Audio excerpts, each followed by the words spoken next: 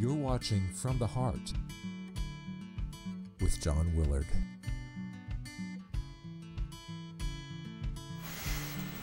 Hi, friends. John Willard here, the gentleman poet. Great show today. And remember the subscribe button below for CNA TV, because CNAs matter. Friends, most of us have failed or gone astray in one fashion or another, at one time or another.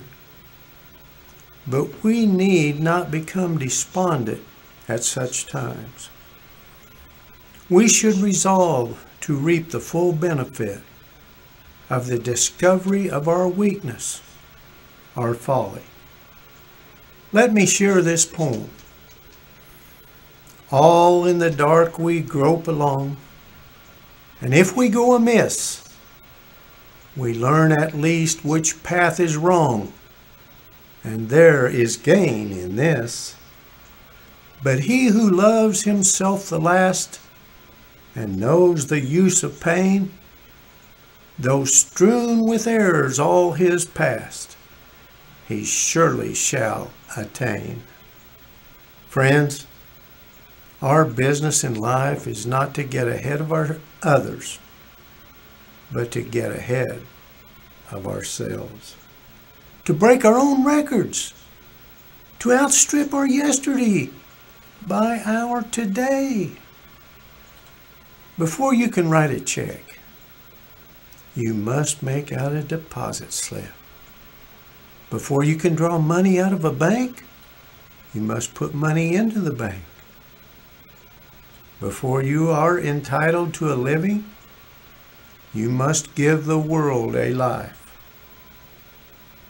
If you want to make a first class living, learn to give the world a first class life.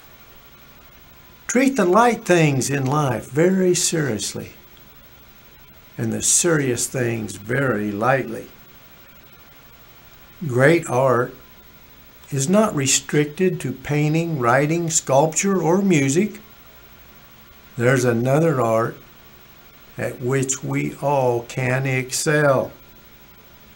It is what Henry David Thoreau called the highest of arts, the art of living. People who practice it are not artists in the usual sense.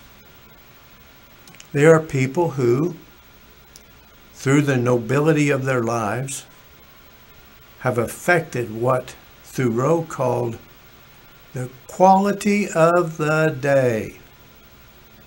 Years ago, this was wrote about, pointing out that there are countless obscure people who practice this art. Good people who quietly affect the lives of those about them without even being aware they're doing it winning no commendation, and expecting none.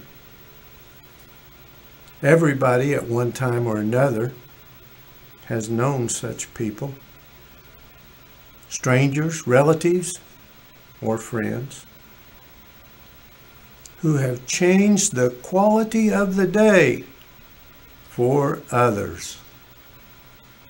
They come into a room in a dark hour, a sick room, say, or a death room, a room without hope, or merely in an hour when we are lonely or discouraged. They may say little, if anything,